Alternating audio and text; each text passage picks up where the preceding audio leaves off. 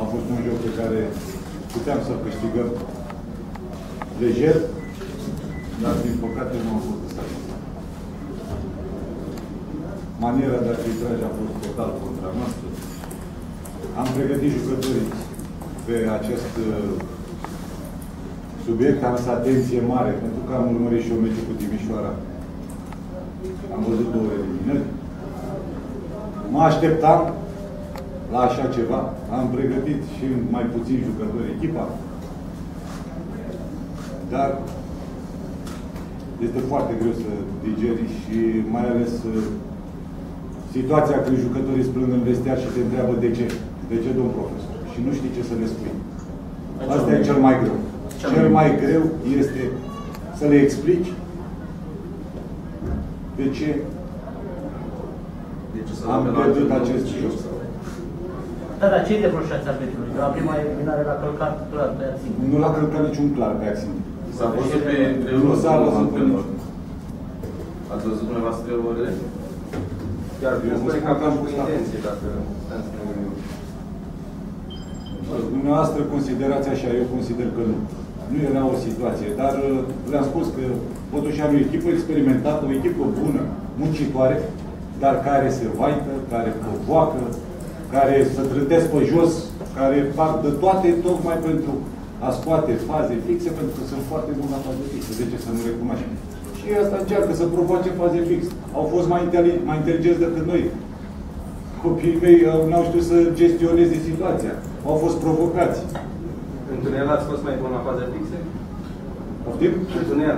Ce s-a Nu, întâmplat? ce în s-a tunel? întâmplat în tunel, vreau să întrebe Da. părinte. N-a fost absolut. N-a fost absolut.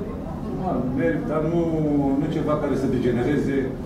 Fiecare vrea să-și ia partea lui și să o dea departe și s-a interpretat greșit. Nu a fost În absolut. tunel n-au mai fost copii, nu? Ba da. Ba da. Dar reacționează la sentimente. Și ce i-a determinat să reacționeze așa? Bănuiesc că ați văzut. Credeți că Hagi ar fi mulțumit Am, de atitudinea am, voastră? am o Sau de echipă de comportamentul copii lor? și pregătesc jocul fără faulturi, iar eu șapte cartonașe galbene și două roșii.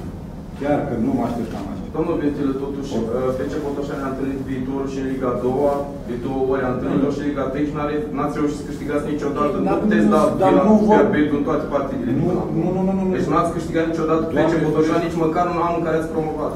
În anul în care ați promovat s-a întâlnit Da. partida, s-a relat a doua zi, apropo de arbitri, de Să chestii. înțeleg, să înțeleg de la dumneavoastră că acum am venit să comentăm toate partidele Botoșanului Comunei.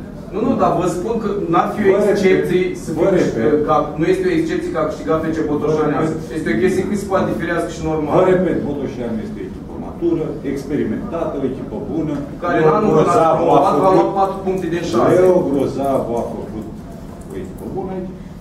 Îl felicit pentru asta. Ați vorbit cu Hagi după meci? Nu. Credeți că ar fi mulțumit de felul în care s-au comportat jucătorii noastre pe tunel? Dar nu s-au comportat niciun fel bolănesc. Păi s-au îmbrâncit cu jandarmi, au fost. Exagerați. Deja aici... Avem fotografii. S-a- Avem fotografii. S-au, s-au îmbrânciit cu jandarmi. Jucătorii mei să îmbrâncească jandarmi. Adică nu, că Avem sunt fotografii, imagini, De aia de video. 2 metri. Ce, cum să-i îmbrâncească?